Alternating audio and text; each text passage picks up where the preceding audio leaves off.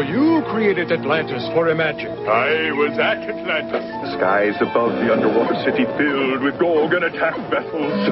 Three sentry posts fought desperately, but they were no match for the Gorgon death rays. But you're here. I thought the Gorgons destroyed everybody at Atlantis. We did!